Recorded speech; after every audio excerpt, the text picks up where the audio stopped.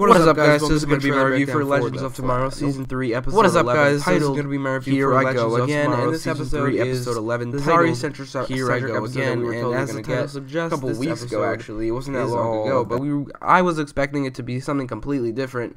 I was hoping that it might have something to do with their comic book origins, maybe something to do with Black Adam, but it turns out nothing of the sort. It's just that she's the main character in this time loop that's going on here, and her being the main character in this episode, I, I expected it to be a lot worse than it actually was. I saw I said in my trailer breakdown for this episode that I don't she's not the greatest character, so I don't expect the, her to be a great main character, but she actually really surprised me in this episode and actually was pretty great. She actually did carry this episode as a main character surprisingly well, although I wouldn't want to see another one for a while. I'd prefer if they focused on the rest of the team or maybe uh, or maybe focus on one other character other than Zari. But for this, for what we got, she was pretty good. In the beginning of the episode, she was how she usually is, which is a little annoying. But throughout the episode, and this is uh, probably her first episode where she got any character development at all, and she got a lot of it in this episode, which makes sense because she was in this quote unquote time loop because it's not really a time loop, but she was in this time loop for who knows, probably at least like like a month. So it makes sense that she got character development through that, living the same hour over and over and over again, which also that time loop was done really well. But Zari getting her character development, which she hasn't gotten yet up until up until this episode, other than maybe her, the episode she debuted, and one or two more things with with her totem.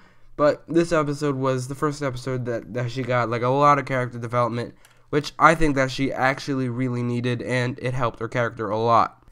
This episode was a ton of fun in the way it used the time loop. First of all, there was this whole fun montage, which was a surprising take on the time loop.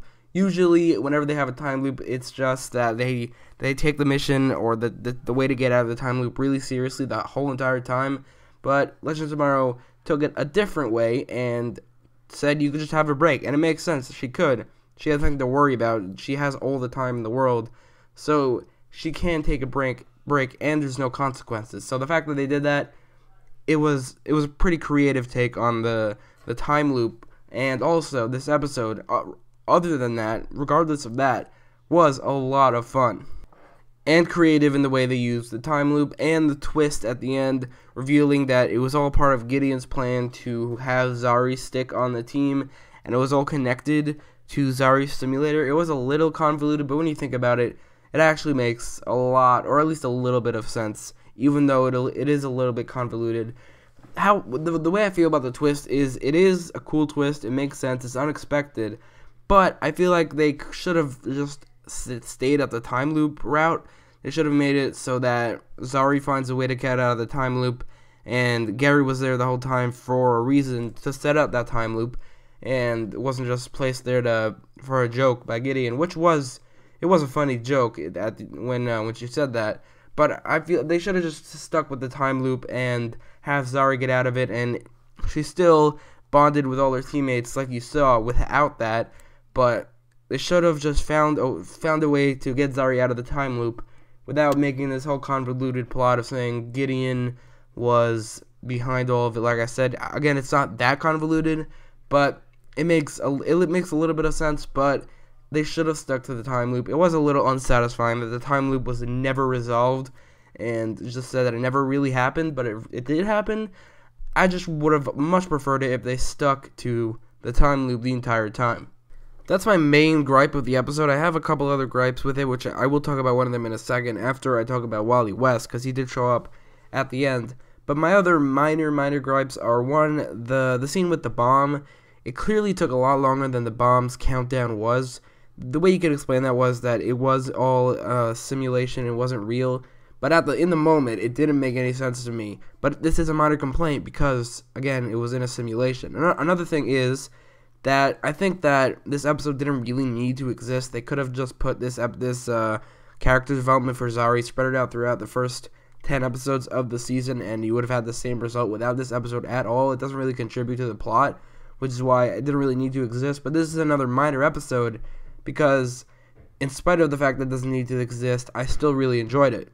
And this brings me to the end of the episode with the introduction of Kid Flash, or the reintroduction rather, because first of all, we've seen it before in the universe, but we also have seen it before in this show in episode one of this season, which is the scene where which led a lot of people to thinking that he should join the team, and then he did. And also we we saw the return of Rip Hunter after I think I think six episodes of him being absent. And this went exactly how I said in my trailer breakdown. You could you could go back and watch it. This is exactly what I said. I said that Rip Hunter is going to go recruit recruit Kid Flash at the end of the episode, and that it will be just a small thing to end the episode off. That's literally, I'm pretty sure that's literally what I said, and that's what happened.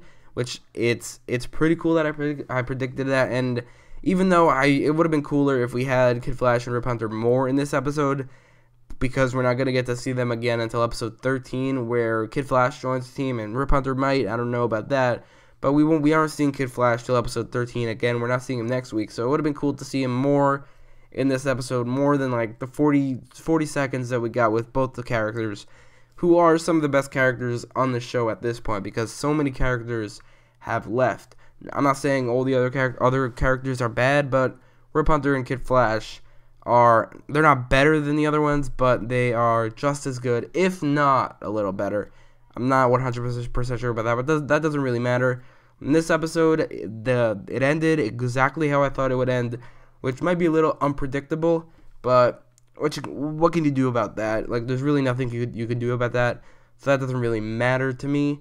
It was just that seeing Kid Flash and Rip Hunter again was pretty cool, despite it being only like 40 seconds. Despite this episode being a ton of fun, using the time loop concept pretty well for the most part, aside from the twist, which kind of a little bit uh, ruined it a tiny little bit, and Kid Flash being reintroduced into the episode, uh, into the universe. I mean, despite all of this, this episode felt like it lacked something. It might have been the lack of action and excitement from that action. It might have been the lack of of a new of a new place they went to. They didn't even, they they went to the 70s and they didn't even show that and they just stayed in the Wave Rider for the entirety of this, of this episode, which even though they did explore the entirety of the Wave Rider in this episode, it did feel a little claustrophobic at times because every other episode, to the best of my ability, to go out somewhere to a new place, to a new exciting place they visit. But in this episode, it was just the Wave Rider, which I'm get. I guess it really it really wouldn't work without the Wave Rider, but that just means that a time loop on this show doesn't really work as well as it could because the Wave Rider, just having an episode entirely on the Wave Rider doesn't really work, which hinders this episode a tiny bit. Not not much, but a little bit, along with the twist, which does hinder the episode a little bit as well. In conclusion, this episode was a ton of fun. Zari was a much better character, main character than I expected her to be, and she did get some pretty good character development in this episode, and the time loop concept, for the most part, was done really well, aside from the twist, which kind of ruined it, like I said. And Kid Flash being reintroduced into the universe is really cool, despite it only being like 30 seconds. Despite all this, though, it did feel a little claustrophobic them staying on the Wave Rider. So I'll give this episode an 8.5 out of 10. But let me know what you thought about the episode in the comments down below, and don't forget to like, share, and subscribe. Thanks for watching.